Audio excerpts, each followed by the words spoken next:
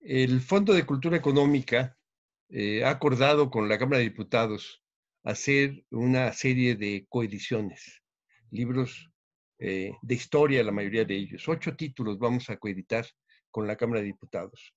Eh, la idea de estas coediciones es, desde luego, sumar esfuerzos, hacer que el costo se distribuya entre las partes, disminuir el costo porque aumenta el tiraje y por lo tanto podemos también bajar los precios, que es una de las metas que siempre, siempre tenemos eh, en el Fondo de Cultura, bajar los precios de los libros. De tal manera que es un acuerdo que es muy favorable. Es una lista de ocho títulos, la mayoría de ellos son de historia mexicana, de historia de México. Sobre de esta lista vamos a hablar ahora de cuatro de esos títulos. Uno de los libros que vamos a coeditar con la Cámara de Diputados es El Laboratorio de la Revolución del historiador Carlos Martínez Azad, el estudio más completo del Tabasco garrillista, que fue, como bien lo dice el título, el gran laboratorio revolucionario en donde las demandas populares o algunas de las demandas populares más importantes fueron llevadas o desarrolladas al extremo más grande durante los años de la revolución de entre 1922 pues, 1935, que fueron los años en los que Tomás Garrido Canaval gobernó en el estado de Tabasco y llevó a cabo grandes reformas. Llevó a cabo, por ejemplo, eh, la masificación de la educación, de la educación socialista y popular.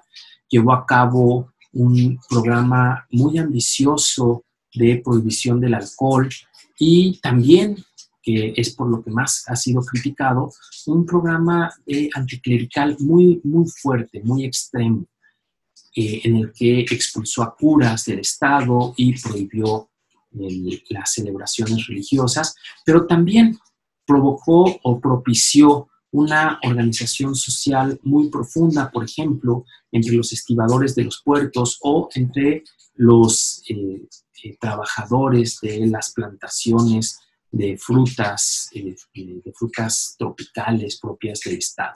Así pues, es eh, el estudio del doctor Carlos Martínez Azar el, más completo, el más global para entender eh, este, este estado que fue considerado por mucho tiempo el más progresista, el laboratorio de la Revolución Mexicana.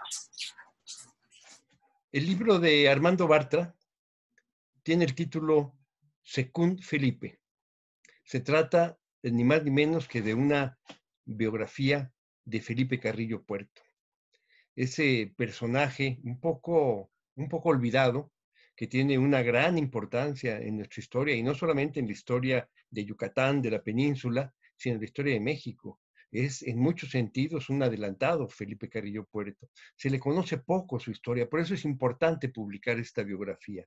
Eh, se conoce mucho una parte que es, secundaria, es interesante, pero es secundaria que tiene que ver con su romance con una eh, periodista norteamericana, de donde sale una, sale una canción, una canción que se llama Peregrina, que todos hemos oído, de Luis Rosado y Ricardo Palmerín, eh, y ese se conoce más, pero se conoce poco en profundidad la historia de Carrillo Puerto. Y es una historia no solamente importante para la historia de nuestro país, sino que es también una historia muy original, muy llena de aventuras. Felipe Carrillo Puerto era, era un gran, gran personaje.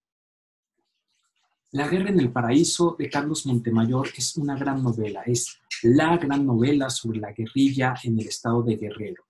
En ella, con la excelente pluma de Montemayor, se le da rostro, se le da vida a una de las historias menos contadas en la historia de México, que es el movimiento eh, armado, la guerrilla, comandada por Lucio Cabañas y por el Partido de los Pobres.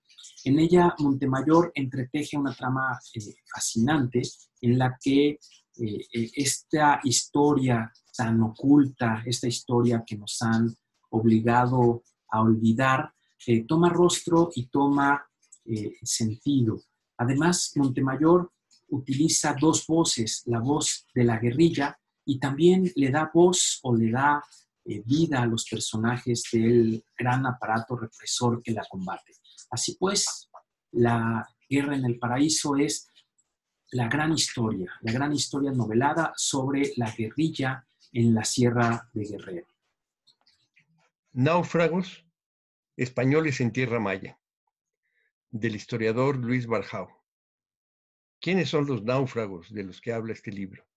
Son Jerónimo Aguilar y Gonzalo Guerrero, dos náufragos españoles que naufragaron en las costas de la península de Yucatán, unos 10 años antes de la llegada de eh, Hernán Cortés.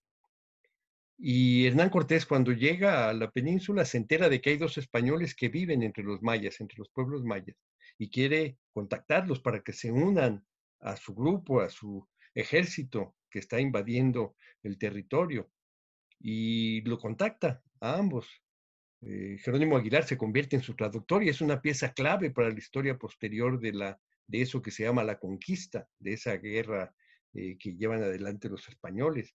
Y necesitan un traductor, y ese traductor es clave. La otra traductora es la Malinche, pero sin este primer traductor no es suficiente la, la, la traducción que hace la Malinche, porque él habla maya y español, y la Malinche habla náhuatl y maya.